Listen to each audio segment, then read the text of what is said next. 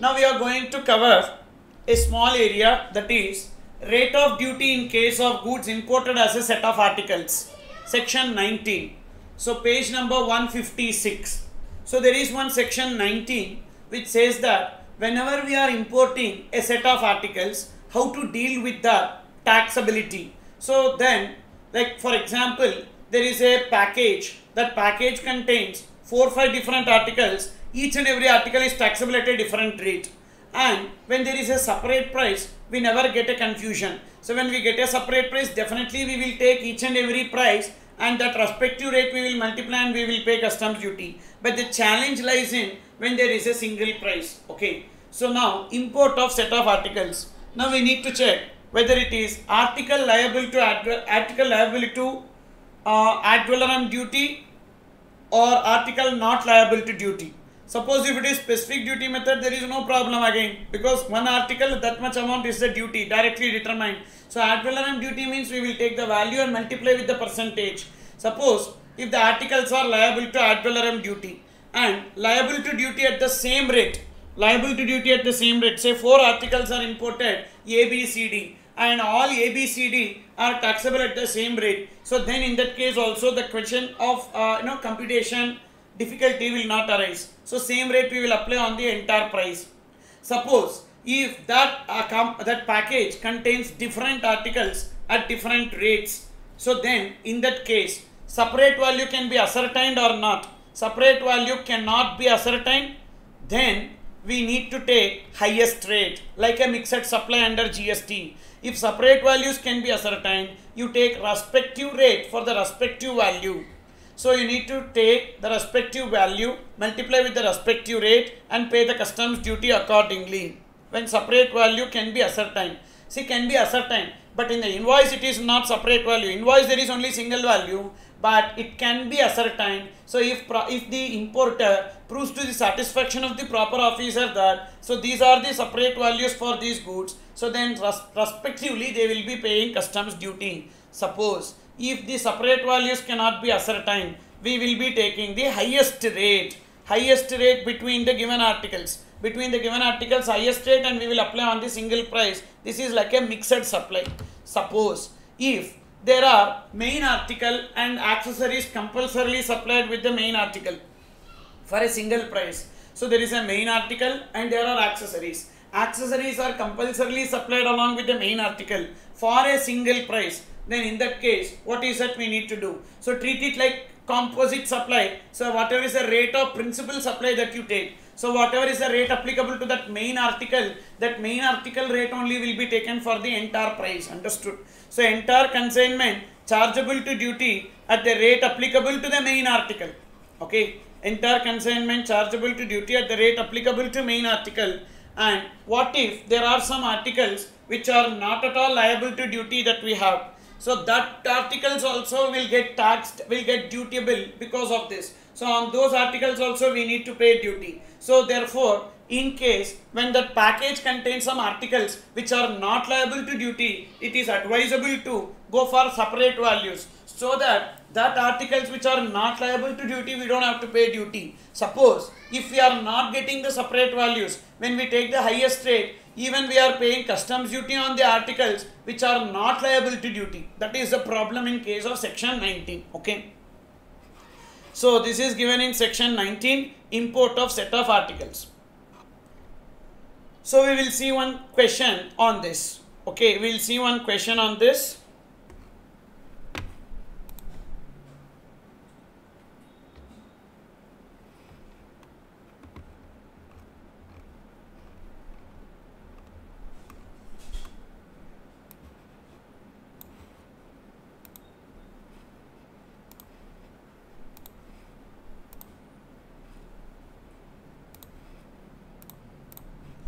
Okay.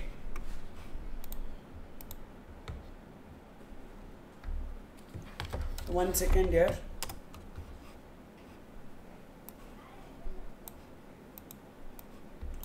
See this. Mr. A imported certain goods comprising of set of articles at a consolidated price of rupees 16 lakhs. Mr. A claims that the value of various articles is as follows. Along with the rate of duty prevalent on the date of presentation of bill of entry. Article X 10 lakhs, Article Y 4 lakhs, Article Z 2 lakhs.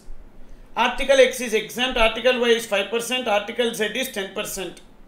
What is the amount of duty payable by A if he fails to furnish evidence supporting the aforesaid values? He furnishes requisite documents supporting the aforesaid values. Come on, make it fast. Do that.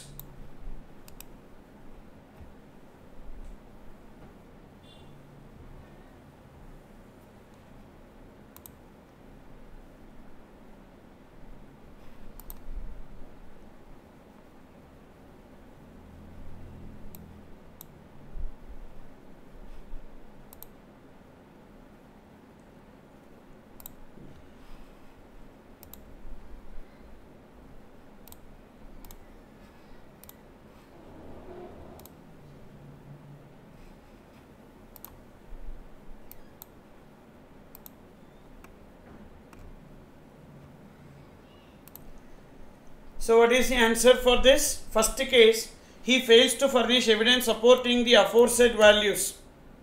So, then what is that we need to do? So, we need to take first, so 10 lakhs, 10 lakhs into 5%, he fails to furnish the evidence. So, total value, so 10 plus 4 plus 2, 16 lakhs, 10 plus 4 plus 2, 16 lakhs into what is the highest rate? So the highest rate is 10%. So take 11%. How 11%? Basic customs duty plus social welfare surcharge. So that will be equal to. So 16 lakhs into 11%. So 1 lakh 76,000. 1 lakh 76,000. Whereas in the second case, so what if he furnished the requisite document supporting the aforesaid values? Then we will take proportionately that is 4 lakhs into 5.5% 5.5% plus 2 lakhs into 2 lakhs into 11%. This is what I was referring to that even non-dutiable articles or exempted articles will also be taxed if you go for the highest rate. Okay. So therefore 4 lakhs 4 lakhs into 5.5% M plus and 2 lakhs into 11% M plus MRC 44,000. So 44,000 will be taken as the duty payable. Understood? So compute the assessable value for the purpose of determination of customs duty from the following information. Machinery imported by from USA by air FOB price.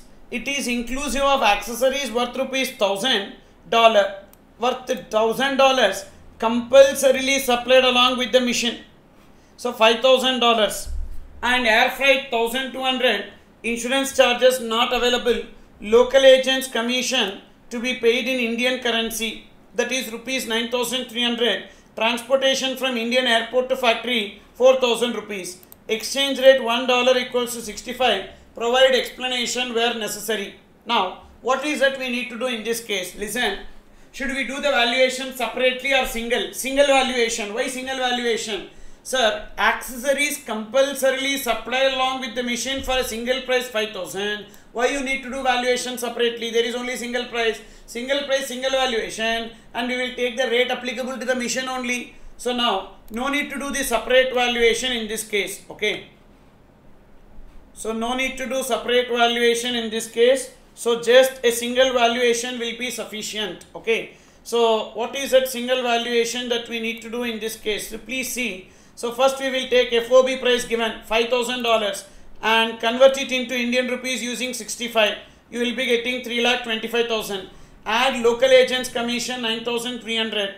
FOB price revised you will get. So because I have given local agents commission, FOB price, freight, air freight, actual or 20% of FOB, whichever is lower insurance. That's it. Only one valuation. So because of section 19, in case where accessories compulsorily supply along with the goods, then the accessory cannot be assessed separately. So therefore the value has to be clubbed with the value of the mission. What if? Now this is an another question. This is an another question. Okay. So what if? So see this.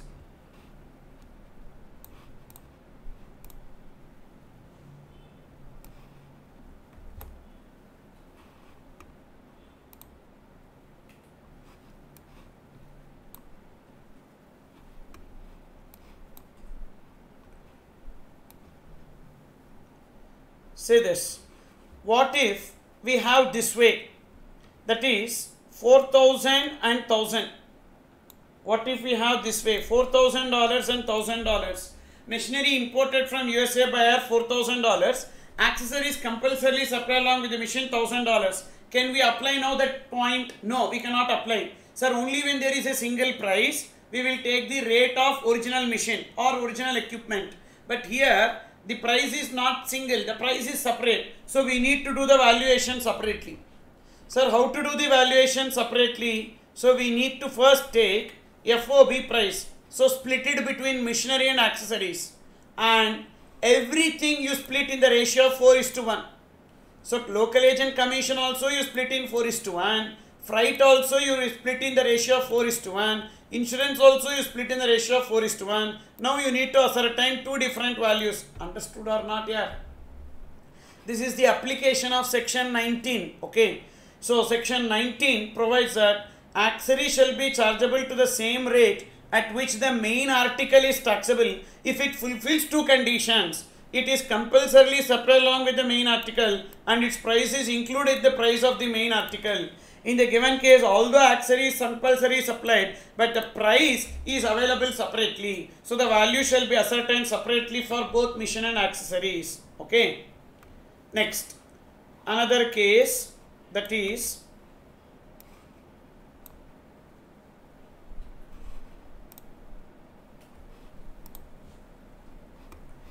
so you see this one second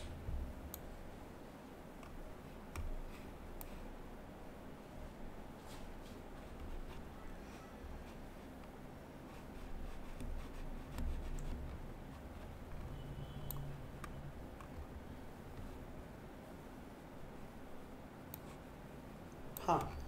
Say this. Next question.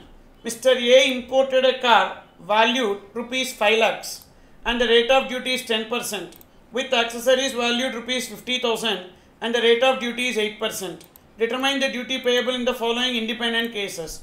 If accessories are compulsorily sold with the car at a single price of 5 lakh 50. Now on entire 5 lakh 50 we will take which rate? 11%. Why 11%? So 10% plus social welfare surcharge, main article. So 11% of 5 lakh 50,000. And if accessories are optionally supplied for a separate price, so optionally supplied, we will take respective rate. So 5 lakhs into 11% and 50,000 into 8.8%. Okay. Done. So these questions will give you the clarity related to section 19. These are the illustrations on section 19. Okay.